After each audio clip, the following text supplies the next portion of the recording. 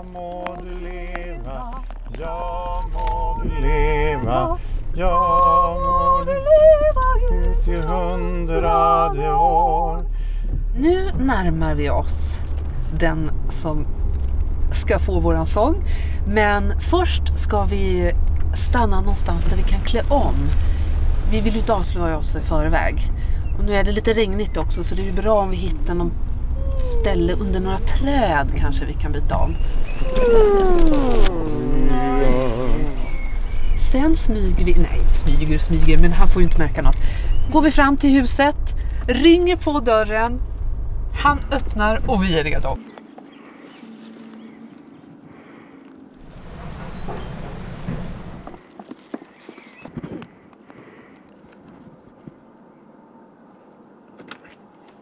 Ja må du leva, ja må du leva, ja må du leva ut i hundrade år.